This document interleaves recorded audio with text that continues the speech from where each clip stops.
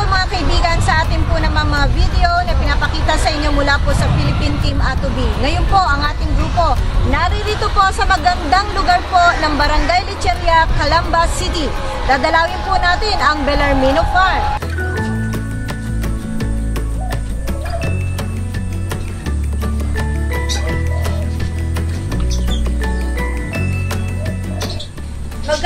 Tayo ng panayam ngayon dito kay Mr. Randy Bellarmino and of course sa kanyang pinsan si Mr. Melvin Morales and uh, sa kanyang father mismo yung talagang Bellarmino sabi nga Rodrigo Bellarmino ayan so unahin po natin uh, Sir Randy paano po kayo napasok sa ganitong pagnenegosyo sa larangan ng agrikultura Dati po kasi nagtatrabaho ako as employee pero talagang pansin ko walang walang asenso eh.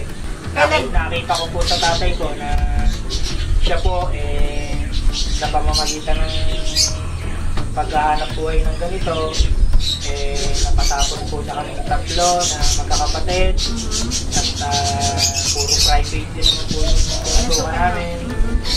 So, kahit pa paano naman eh, medyo nakakaluho-luho rin naman mo kami. Kaya sabi ko, eh, masundan na lang po yung kanyang ah, Sinimulan. sinimulan. ilan po kayo magkakapatid Bali po, tatlo po kami magkakapatid. ano po ang involvement nung dalawa sa ibang larangan Ay, yung isa ko pong panganay na kapatid, eh, tapos po siya ng ah, psychology. Ah, pero meron din po siya yung sa farming din po, paghihito. Okay. Sa, yung pangalawa po yung pangalawa naman po, ay engineer naman po. nasaan po siya Ah, nandito rin po, nagtatrabaho. Okay. Tapos, kayo po ay bunso po ba? Ako, ako po bunso at ako'y nakatapos din naman po ng pag-aaral. Ano pong Computer science nga lang po. Medyo malayo po sa kurso pero dahil po sa experience na rin tsaka sa turo ng aking tatay. Ah. Ito po ba'y anak niyo Ah, nag-isa? ito po, hindi po, bali dalawa po itong anak ko to. Ito po bunso. Ay, siya ang bunso. Babae, lalaki o lalaki pa rin po? Hindi po, yung panganay ko po, babae, eh, mukhang wala rin pong hilig sa farming. Kaya siya po, I-train mo. Opo, para po sa susunod di siya na po mamamahalan. Yan. Okay ba sa iyo? Very good. Ngayon po, ay sinasabi nyo, sinundan nyo ang inyong ama. Ano po bang unang pinagsimula ng negosyo ninyo, tatay? Ako ay nagsimula sa paningisda. Ako ay nagtayo ng ano dyan sa may poultry. Ano Ba- pong, ano pong nilagaan nyo? Bangos. Bangos. Bangos ang unang ano namin dyan sa may pulo. Yan, Oo. harapan yan ng pulo yan. Tapos po? nandiyan ang aming, ano, nung uh, 1972. 72. Okay. Then, Then, nag-itik na ako, saka nagbubukid. yung pong itik na sinasabi nyo, yung po yung nabanggitin nyo, inalagaan nyo doon sa, natatanaw namin yun eh, yung pong kubo na yun, Oo, oh, yan yung nagiba lang ng ano, pero yan yung malaki pa rito. malaki pa po sa alagaan ng baboy. Oo, So, yun po ang dating pinagalagaan nyo ng itik. Ilan po ang itik ninyo? itong libo. Itong libo. Mga kaibigan, yung pong natatanaw ninyo ngayon ay bahagi po ng lupain na pag-aari po ng Belarmino nila Sir uh, Mr. Rodrigo. And uh, ito po ay uh, sabihin na lang natin at the least ay 25 hectares. So, may imagine ninyo napakalayo ng natatanaw ninyo pero yan po'y bahagi pa rin ng ari-arian nila, nila na sa ngayon ay binabalak po nilang lalong pagyamanin sa larangan ng agriculture. Okay, sir, bakit kayo huminto sa paglilitikan?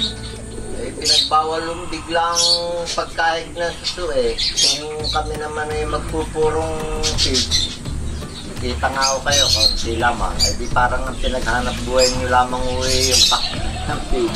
Kaya, Ayun. So, nahinto kayo. nahinto kami bigla at nag-convert na nga ako kami dito sa gantong Babuyan. babuyan. At Okay. saka pinag-iiw namin yung bukid. Mm. Balikan natin si Sir Randy. Sabi niyo, Sir Randy, noon ay nagma-market lang kayo ng itlog ng itik. Opo, para pong nung ako po'y umalis dun sa Coca-Cola, Bali po sa kanya na po ako bali ng trabaho. Hmm, sumusweldo po kayo. Opo, ang trabaho ko naman po sa kanila, sa kanya, eh, ako lang po yung nagdi-deliver lang po ng itek. Actually po, hindi po mahirap i... Itek o itlog ng itek? Ah, itlog po ng itek. Opo. Actually po, hindi po mahirap siyang i-market kasi siya na ho, meron na ho talagang kumukuha talaga. Hmm, ilan pong itlog ang dinadala nyo, dinideliver araw-araw, more or less? Araw-araw ho, hal- halos po 50 plus na crate yun eh. 54, 60, Ang laman po ay ilan? 200 plus yata isang crate na. No? So, ano, Mga nasa 250 po na eggs ang isang yung parang case po ng beer. Opo, opo, yung crate. So ito pong crate na to, kung may 250 ang laman, ah ilan yung sinabi nyo, ilang crates? Sampo? Hindi po, 50? minsan po 54, 50. minsan po So 60. 250 eggs times 50 Yo. Per day. Opo, opo. So napakaganda po, lucrative business po siya. No? Ngunit kayo napilitang maginto dahil nga sa mga problema at napunta kayo sa pagbababuyan. Opo. Sa tingin po ninyo ngayon, ah, meron po bang pag-asa na masenso ang mga Pilipino sa pag-aalaga ng baboy? Bay, napakalaki po. napakalaki po. Nung po kayo hindi pa gumagamit ng Atobi, ano-ano po ang mga naging problema ninyo? Eh, unang-una po sa BX, yung pong pagtatae, cowring, tapos po, ah, andyan po yung mahinang paglaki. Sa partner naman po, mahina po siyang lumaki. Sa inahin naman po, yun nga po, yung pagka po siya nanganak, Mm. eh hindi po ganun kabilis manganak. Opo. Lagi pong minsan, dinudukot pa po nung aking Oo. Tapos po, ah, basta malimit po, hindi po ganun yung bilang na inaanak niya. Sa Kukunti ngayon lang po, may Atobi. Nalutas na po, pati yung baho ng dumi, ano? Ayun, isa pa po yun, yung pinaka number one na problema namin, yung baho. Eh, mabuti na nga lang po, nakita niya naman po, wala pong masyadong kapitbahay, kaya wala pong nagre-reklamo. Pero ngayon, talagang total Eh ngayon wala. po, kahit po nakita niyo naman, talagang, Kumain. kahit po kumain tayo, sa tabi ng baboyan, talagang wala po tayo, tayo talagang makakamoy dyan. Yun. Ngayon, meron din po kayong mga alagang manok at saka pugo. Mukha yata si Sir Melvin ang lagi nakatingin doon. Ano po ang mga dating problema nung wala pa po ang Atobi? Dating problema, lalo na na yung, ano niya, yung dumi. Napakabaho no? Kasi pugo, napakadumi ng amoy niya. Napakabaho ng dumi. Napakabaho.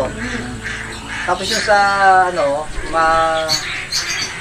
Gaya nga niya, yung pagka-experiment namin itong pugo, wala pa siyang ano, kumbaga 30 days pa lang, nangitlog na siya. Opo. Kasi yung feeding niya at saka yung sa tubig, talagang hinahaluan namin ng atobi.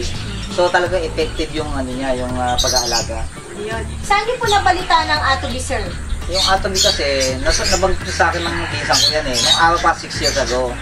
Tapos ah, hindi niya parang binaliwala niya, gano'n. Tapos nung nagkita uli kami, sabi ko sa kanya, i-revive kaya natin Randy yung ano, yung atomy, subukan natin. Subukan natin sa mga alaga natin. Eh, pumayag naman siya.